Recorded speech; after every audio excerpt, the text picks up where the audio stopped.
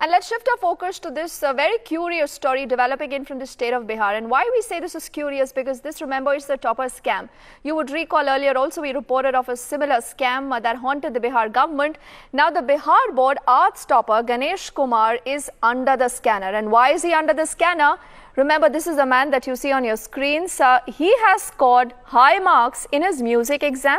When we asked him certain basic questions about music, he fails to answer them. Now, the school in which he was studying is also under the scanner. Ganesh Kumar also played some musical instruments to prove that yes, uh, you know, these marks have just not come by fluke. We play out first that entire sequence for you.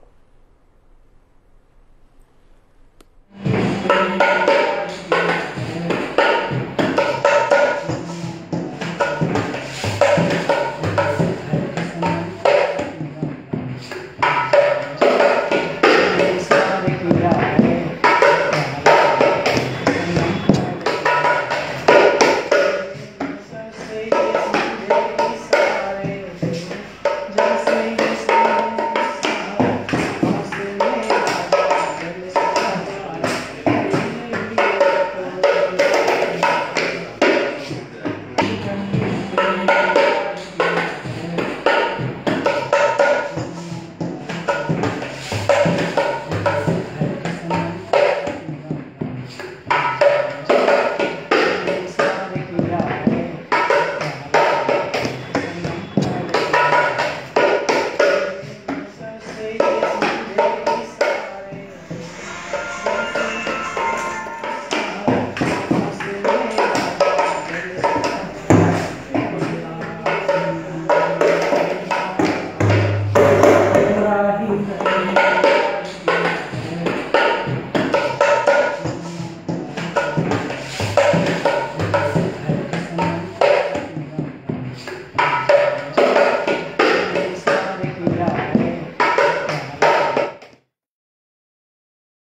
किस चीज़ में? Practical में कितना number मिला? Theory में कितना number मिला? में हम भी आए तो यहाँ जब पता चला पेपर के माध्यम से कि वहाँ लेट हो रहा है तो लोग परेशान हो रहे हैं तो हम नंबर वगैरह ना देखते हुए बस जितना जो सुने हैं उसी के हिसाब से हम दौड़ते हुए पहले पहले स्कूल जाएँगे अपना कॉलेज और आए हुए हैं।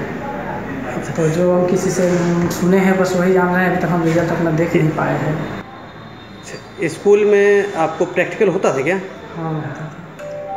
क्या क्या सिखाया जाता था प्रैक्टिकल में आपको? सब कुछ सिखाया जाता था लेकिन अच्छा से हम क्लास नहीं कर पाते थे कारण गरीबी हालत था कमाने के लिए हम उधर समय देना पड़ता था कुछ जिसके चलते हम पूर्ण रूप से क्लास ठीक से नहीं कर पाते थे लेकिन क्लास हम रेगुलर आते थे। अच्छा अभी आप हारमोनियम बजाए और ये नाल बजाएँ क्या आप कहते हैं ये अच्छे से बजा लिए दोनों चीज़? हाँ अपने जानते में अच्छे ही बजाए हैं और चूँकि थके हुए हैं तो इसके चलते थोड़ा सा बहुत गर्मी है तो थोड़ा सा और बार बार एक पर एक जो है सो पत्रकार लोगों के द्वारा पत्रकार हो रहा है जिसके चलते थोड़ा सा मतलब और माइक के सामने आने से लोग थोड़ा सा मतलब घबरा जाते हैं। मतलब अपना जानते हैं सही बजाए हैं। ये बताइए गणेश जी जब आपकी प्रैक्टिकल जब आप इंटर का प्रैक्टिकल दे रहे थे उस समय कौन सा गाना आप गाए थे जिसमें आपको इतने नंबर आए? हम गाए थे कोरा कागज़ वाला। मेरा जीवन कोरा कागज़ पूरा ही रह गया। आपने टॉप किया है आप फीलिंग कैसी है? कैसा लग रहा है? यहाँ तक सब फीलिंग अच्छा है टॉप किए हैं, बहुत अच्छा लग रहा है।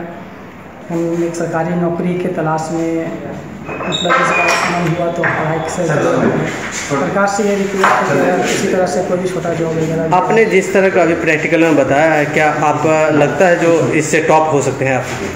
टॉप की तो आशा जहाँ तक है सोचे थे कि टॉप करेंगे लेकिन टॉप मतलब फ़र्स्ट डिवीज़न का आशा लेके चले थे लेकिन टॉप हो गए तो शायद।